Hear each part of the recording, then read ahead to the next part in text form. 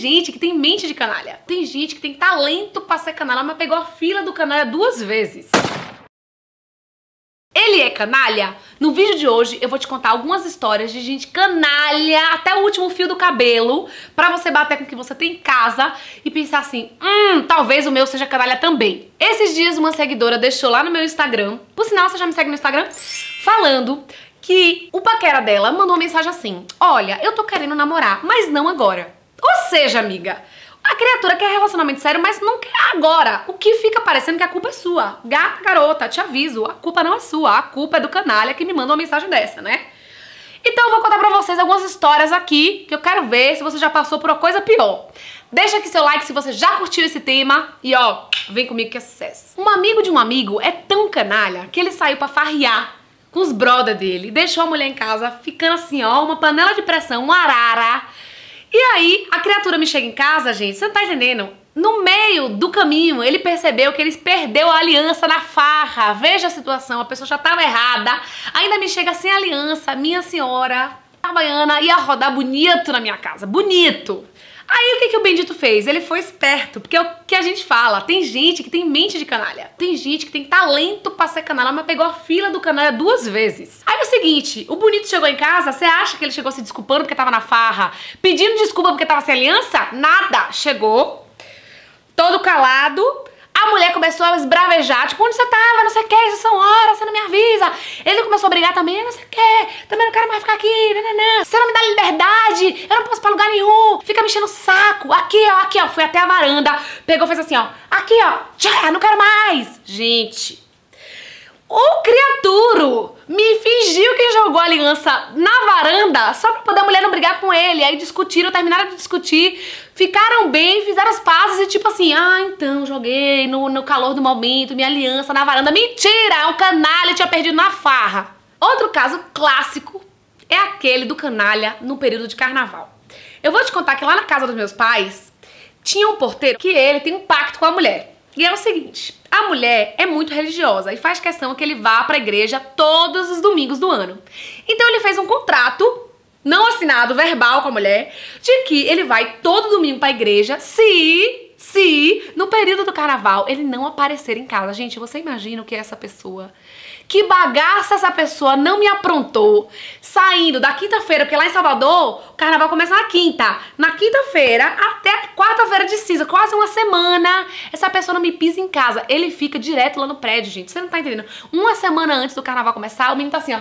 Eita! Você manda, você fala uma coisa com ele. Ô, João, ele, peraí que eu limpo pra você, deixa que eu limpo. Uma felicidade, uma felicidade. Agora, pega essa criatura na quarta-feira de cinza, tá assim, ó. Você fala assim, João, tudo bom? Ele, tudo bem. Gente, é outra pessoa.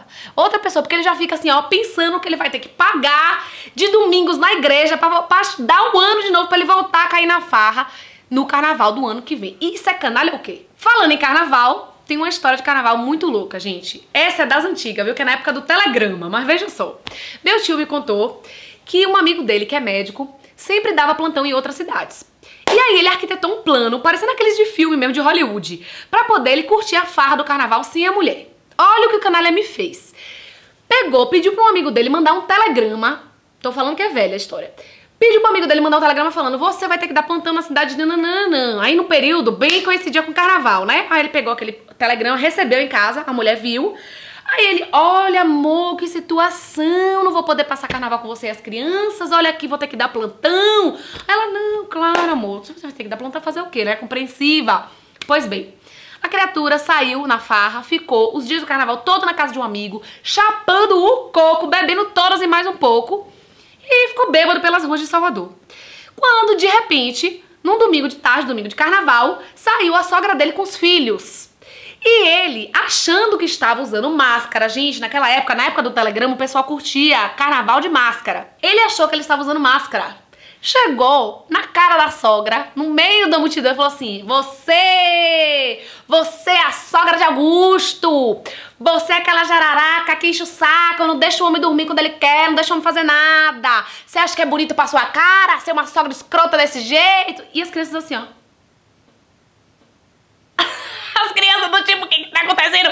E aí nisso chegou a mulher dele e falou assim: Augusto, toma vergonha na tua cara, bota pelo menos a máscara, tá assustando as crianças. Aí que ele se deu conta de que ele tava xingando a sogra, achando que tava fantasiado, gente. Chegou em casa, as malas na porta, lógico, depois de uma dessa. E você não precisa ir muito longe, não, viu? Canalha tem dessa época, mas tem da época atual. Conheci gente que pegava o carro da namorada pra ir pegar a paquera, ficar com paquera. É sério isso, gente. Pegava o carro da namorada e falava assim: Ô oh, amor, eu posso sair com o seu carro hoje? Pode, pode sair, amor. Pegava o carro da mulher, ia pegar paquera, ia pegar gente do outro lado da rua. Olha a situação.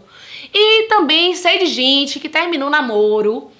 Sabe assim, do tipo, olha, não está dando certo, vamos terminar, esse namoro pode estar muito confuso pra mim. Isso é clássico em Salvador, perto do carnaval, né? Está confuso, não sei o que eu quero, não sei que situação, se eu quero um relacionamento sério, estou passando por um momento pessoal muito complicado. Aí a criatura termina, pega outra fulana na rua, dá uma semana, vem, oh, eu pensei melhor, acho que a gente dá tão bem. Aí quer voltar. Porque na cabeça da criatura isso não é traição, gente. Olha que bonito. Tenho certeza que você gostou desse vídeo, né, amiga? Porque canalha nessa vida só por Deus. Se você já passou por alguma dessas histórias ou coisa pior, deixa aqui nos comentários pra eu saber, hein? Curte esse vídeo e principalmente se inscreve no canal pra você não perder nenhuma novidade. Fui!